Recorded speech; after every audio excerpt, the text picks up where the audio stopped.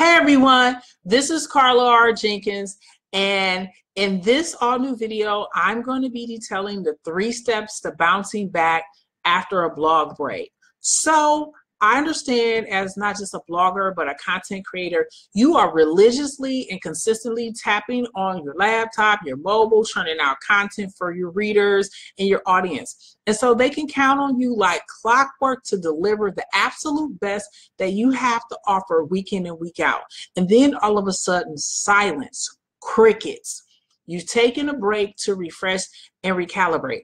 I've done the same thing because I have religiously over 52 weeks, no matter what was going on in my life, I released a weekly newsletter, Carla's Correspondence. You can subscribe to it at carlarjenkins.com forward slash mailing list. But sometime I took over a month off from a blog and my readers were scrambling.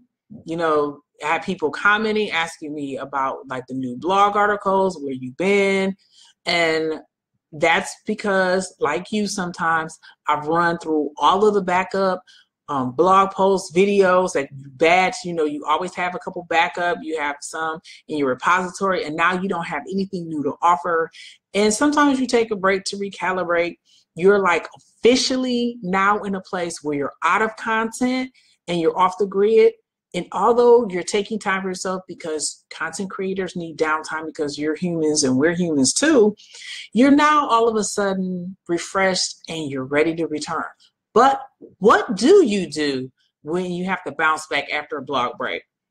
And this is the thing, the conundrum a lot of content creators fall into. You don't want to come off as nonchalant, like they're on your timetable, they're on your schedule because that's not what your blog break was really about.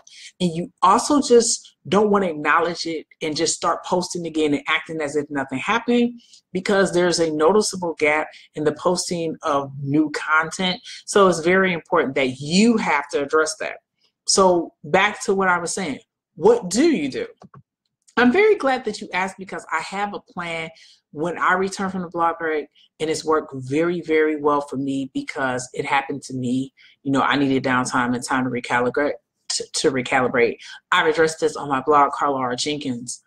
These are my three steps to bounce back after having a blog break. First, explain to your readers, be upfront about your your absence. Your audience deserve it. And when you're honest, you're also setting the reader's expectations and so I want to give a caveat because even though you can be upfront, you don't have to tell everything. So, say if it was a death in the family, you had surgery, or some type of health thing, don't don't say that. Just say you're taking time, personal time to recalibrate, and you just leave it at that. You don't have to divulge all of the information. After being upfront with your audience, give a an immediate timetable about the frequency that you'll be posting. So in my situation, I kept the same schedule, but if you're returning and posting less, then your readers deserve to know about the decrease in frequency also. The second step is consistency. Now that you've laid out a timetable, you have to stick to it.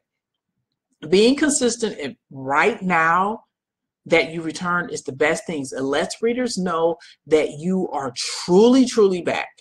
And when I took my break, I gave my explanation and I kept the consistency. I kept posting content. I admit it has taken a couple weeks for my numbers to return, my readers to return, but that's why the consistency is essential. I was extremely diligent about providing the, the blog, the video, the photography content. And so my readers saw my consistency post break and they've returned. My third step is quality and it's people don't want crap. Yes, you return. Yes, you're posting consistent, but they don't want crap. They want very high quality content because they waited a long time for your return. And when you return, you better deliver. In my case, I I made a decision to do more theme related, more series related content but the biggest thing as a blogger and a content creator is at least deliver on the same level, if not higher quality content before, because of your absence And so just give them the best you have because your readers and your audience deserve it. So ex- the recap explaining your absence, step one. Step two is consistently adhering to a timetable. And number three, delivering the same high quality content are the three steps towards bouncing back after a blog break. As I mentioned, you can sign up for my mailing list at carlarjenkins.com forward slash mailing list. You can also follow me on Facebook at facebook.com forward slash Carlar Jenkins. Moreover, I have a YouTube page at carlarjenkins.com forward slash YouTube channel, all one word to subscribe there. And finally, if you would like to work with me, you can email me at info at carlarjenkins.com. And you can also go on my website, carlarjenkins.com forward slash contact and complete the contact page. So I would like to thank everyone for taking out the time to watch my video. I greatly appreciate it. I'll see you in the next live stream. Goodbye.